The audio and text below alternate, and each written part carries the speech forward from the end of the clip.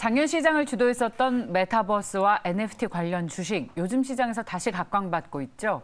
금리 인상기에 성장주는 성장이 둔화될 것이라는 우려에도 불구하고 이런 걱정들이 주가에 다 반영이 된 것인지 오늘 결정적 투자에서 이 길목을 지킬 수 있을 만한 주식인지 한번 답을 찾아보려고 합니다. 인베스트 자문의 인성희 고문 나오셨습니다. 어서 오십시오. 네, 안녕하세요. 자이언트 스텝, NP와 같은 대표적인 메타버스 주식이 오늘 강합니다. 이유가 어디 있다고 보십니까, 고문님? 글쎄 오늘 좀 NP, 자이언트 스텝, 뭐 맥스트 여러 종목들이 있는데 네. 이게 거의 한 두 달 정도 쉬었거든요. 예. 어, 쉬었는데 이제 오늘 오늘뿐만 아니라 이제 며칠 전부터 이제 올라오는데 아무래도 그 삼성전자가 지난주 초에 이제 주, 그러니까 16일 날 주총을 했어요.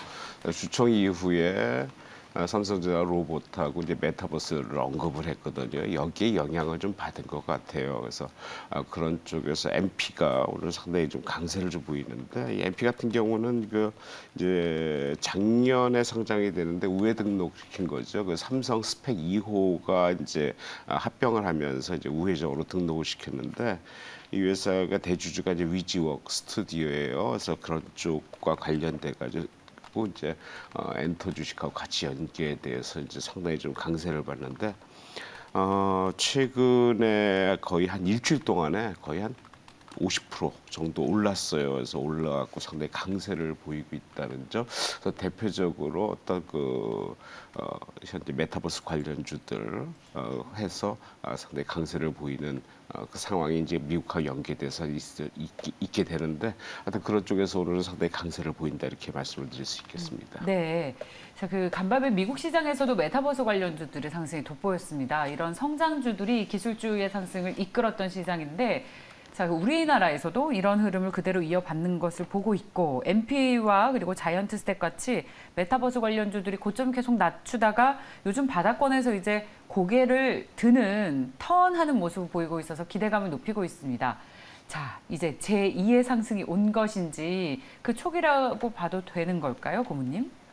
글쎄 이제 메타버스 관련해서는 실제적으로 많이 오른 거는 작년 10월부터예요. 10월부터 맞습니다. 거의 12월 말까지 두 달 동안 메타버스니 NFT니 얘기가 나오면서 아주 그냥 종목을 아주 급 등을 시켜버렸어요. 근데 실제로 회사들이 실적은 없거든요. 그러니까 어떤 그 가능성 향후에 어떤 그 이제 캐시카우 역할 기대감 때문에 좀 많이 올랐는데 어, 미국장 같은 경우 이제 대표적인 게 이제 로블록스하고 그다음에 어, 메타버스죠. 이게 페이스북에서 이름을 바꾼 회사인데 어, 로블록스가 어제 거의 한 8% 이상 급등을 했어요. 또 메타도 한 2.4%죠 올랐거든요. 그래서 이제 거의 그것도 어, 위, 위점에서 상당히 많이 이제 떨어졌다가 이제 바닥을 찍고 올라가는 그런 상황이기 때문에 이와 연계된 우리나라 이제 관련 어, 메타버스 관련 종목들이 아무래도 강세를 지난주부터 띄지 않았나 좀 생각이 되고 어, 그런 쪽에서는 아무래도 미국 장하고 굉장히 연계를 시킬 것 같아요. 그래서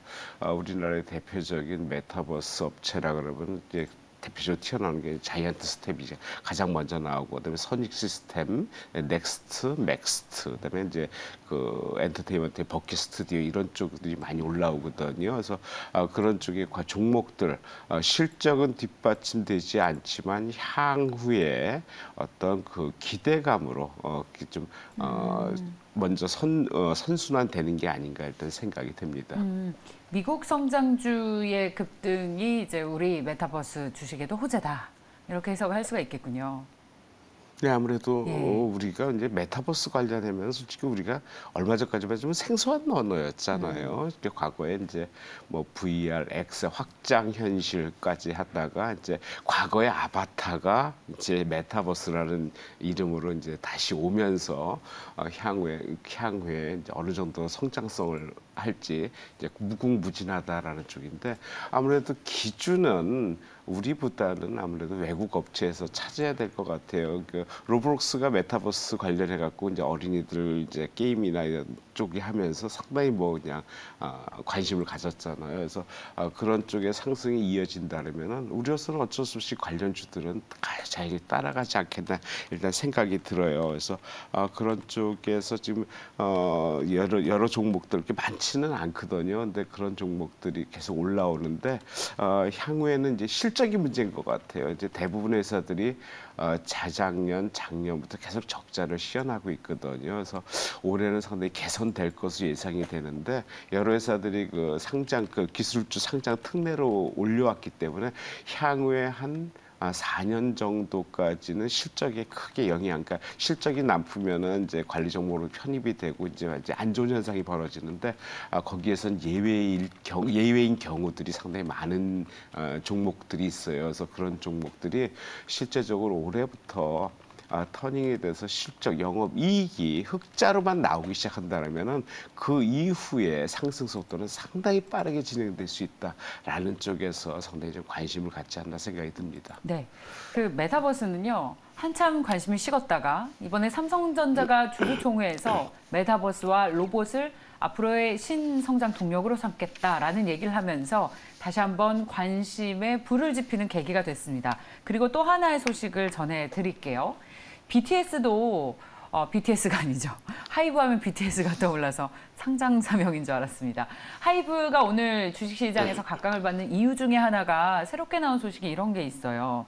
안철수 인수위원장이 BTS와 같은 세계적인 그룹은 문화예술 분야 공로를 인정해서 대체 복무 등 군복무에 예외를 둘 필요성이 있다. 사실 저희가 하이브 주가를 얘기할 때 굉장히 많잖아요. 온오프라인 콘서트, 메타버스 그리고 이런 팬심이 많은 팬덤을 많이 가지고 있는 어떤 소속 아티스트들을 얘기하는데 BTS의 군대 이슈가 하나의 리스크 요인이었단 말입니다. 그런데 이런 부분이 군대 리스크를 해소시켜 줄 수도 있다라는 기대감이 주식시장에서 작용한다는 풀이입니다. 네. 예, 아무래도 뭐 그 군 문제는 우리나라 청소년 청년들한테 상당히 예민한 문제거든요. 음, 그렇죠. 갔다 온 후와 전이 상당히 다르기 때문에 쉽게 건들 수 있는 문제는 아닌데 이제 언급을 했어요. 해서 이제 공백이 없어지니까 아, 활동을 계속 할 수 있다. 완전 그러니까 흩어짐 없이 완전체로 할 수 있다라는 얘기가 이제 나오면서 주가에 좀 영향을 받고 있는데 아, 이제 언급한 부분이기 때문에 이건 공론화 과정을 좀 거쳐야 되고요. 좀 시간을 좀 둬야 될것 음. 같아요. 여기서 바로 어, 뭐 이제 됐으니까 이제 뭐 여기서 끝났다 이제 어, 군 문제하고는 해결됐다라고 한다 면은 네. 이와 관련된 그 사람들이 BTS뿐만이 아니에요. 많아요. 많은데 이제 대표적으로 언급이 되는 이제 음악 그 이제 과거에 이제 체육계나 이런 쪽에서 이제 공로자에 그렇죠. 대해서 예. 혜택을 줬는데 이제는 문화 산업계까지 이제 혜택을 줘야 되기 때문에 어, 대상자가 갑자기 늘 수도 있고 또 거기에 또 문제점이 또 따를 수 있어요. 그래서 이 과정은 좀 더 지켜봐야 되겠다라는 얘기인데 이게 뭐 오늘 갑자기 나온 게 아니라 과거부터 계속 나왔는데 누가 고양이 꼬리에 방울을 아직 달지 못하는 그런 과정이거든요. 그래서 이제 일단 안 인수위원장이 이제 다뤘기 때문에 아마 과정이 상당히 이제 얘기가 좀 나올 것 같은데 아, 그런 쪽에서는 어차피 뭐 종목에 대해서는 손해일 리는 없고 상당히 이 아, 긍정적으로 받아들일 수밖에 않나 이렇게 생각이 드네요. 예, 군 입대는 가기 전과 후가 군 입대에 대한 의견이 달라지는 것 같습니다. 가기 전에는 가지 말아야 한다. 뭐 병제를 실시해야 된다 이러면서 갔다 오고 나서는 군대는 필수지 이런 게 예, 많이 달라진 것 같아요. 네, 재밌는 예. 얘기로 예. 한번 해봤습니다. 예. 자, 메타버스에 뛰어드는 삼성, 앞서서도 잠시 얘기를 했습니다만 그런 부분으로 인해서 이 산업에 다시 어, 많은 분들의 관심이 집중되고 있는데 관련 산업의 영향은 뭐가 있을까요? 그리고 어떤 종목들의 영향이 있을지 예상 가능할까요, 고객님? 아무래도 지금 이제 우리가 메타버스 그러면은 이제 뭐 생소히 듣는 얘기는 아니에요. 아니에요. 벌써 작년 재작년부터 얘기가 나왔는데 이게 거슬러 올라가다 보면은 이제 과거에 그 이제 공장제 기계 공업을 하면서 이제 산업 혁명이 일어났죠. 다이물러의 그 방직 공장 얘기부터 나와야 돼. 1800년도부터인데 어, 그 공장제 기계 수공업에서 기계 공업을 하면서 대량 생산이 가능해지고 어, 그 이후에 에디슨이 전기를 발견하고 그 이후에 실제로 얼마 전이 이게 뭐 한 2, 30년 전이긴 하지만 이제 컴퓨터가 이제 등장이 되면서 완전히 획기적으로 사회가 변화가 되고 어, 최근 몇 년 사이 이제 모바일 어, 중심에서 세계 어, 그 산업이 형성이 됐죠. 그러다 이것이 이제 어, 드디어 이제 어, VR, X, AR 네, XR까지 해서 이제 메타버스 확장 현실 쪽으로 이제 옮겨가는 과정이에요. 그러니까 어, 그 과정은 과거부터 생각해보면 상당히 오랜 기간이 축적되면서 점점 빨라지는 그런 과정이고 어, 그렇다면은 현재의 메타버스의 어떤 그 universe 세계는 상당히 빨라질 수 있겠다라는 생각을 해요. 아, 지난주에 삼성전자가 그 주총에서 이제 발표했듯이 로봇과 메타버스 얘기를 하면서 관련 주 어, 관련 그 이제 주가들이 많이 올랐는데 삼성전자만 지금 하는 건 아니에요. SK텔레콤도 지금 삼성전자와 어, 협업하겠다라는 얘기를 했었고 어, 그다음에 기존의 그 네이버는 제페토를 인수하면서 그쪽 시장이 이미 뛰어들었고 뒤따라가는 카카오도 내년부터 올해부터는 글로벌 시장으로 진출하겠다는 얘기를 하고 그 이외에 대기업들 아, 롯데 같은 경우도 계속 나오고 있고 그러니까 모든 회사들 대기업부터 해서 아, 관련 기업 그다음에 조그만 중소 기업까지 메타버스와 연계된 어, 모든 뭐 엔터 게임, 실생활까지 해서 어, 모든 미디어 이런 쇼핑까지 한다면은 어, 그쪽에 안 연결되는 회사가 없을 정도로 어, 충분히 어, 성장성과 어떤 그 미래성이 같이 공존하고 있는 것 어, 그런 쪽에서는 어, 상당히 기대를 해봐야 된다라는 생각이 들고 어, 최근에 그 페이스북 메타버스의 마크 저버가 어, 마크 저커버그가 그 지난달 온라인 행사에서 음성만으로 메타버 스의 구현을 시연하는 Builder Bot이라는 AI를 좀 소개를 했어요. 다시 말해서는 다시 말해서 아, 최근에 그 청소년들한테 코딩이라는 얘기가 지금 많이 나왔죠. 그래서 그쪽에 지금 성장성을 상당히 보이는데 아, 과거에 그 코딩하면은 뭐 우리가 쉽게 말하면 코보로나 어 그 어 뭐지? 코볼 언어부터 해가지고 그에 확장된 게 실행기지 쪽으로 확장이 되다가 이제는 지금 AI를 통해 가지고 음성을 하면은 코딩이 되는 뭐 그런 기술까지 나오고 있거든요. 그래서 그게 이제 향후, 향후에 확장이 된다면은 어, 자기가 개발하고 자기가 서비스하는 소위 슈- 지금 가장 핫하게 나오는 그 B2E 쪽으로 해서 어, 어떤 수익이 B2C 수익이 되는 그런 쪽으로 지금 확장이 되거든요. 그래서 확장 개념이 실생활 연결된다면 개인까지 연결돼서 상당히 커질 수 있다는 쪽에서 좀 관심을 가질 필요 있겠다 생각이 듭니다. 네, 좋습니다. 그렇다면 마지막으로 우리 고모님께서 꼽고 계시는 메타버스 관련 주식의 최선호주를 듣고 마무리를 짓겠습니다. 예, 오늘 관, 뭐 관련된 뭐 아까 말씀드렸듯이 어그 올라가는 종목들이 상당히 좀 마- 많이 나오는데 네.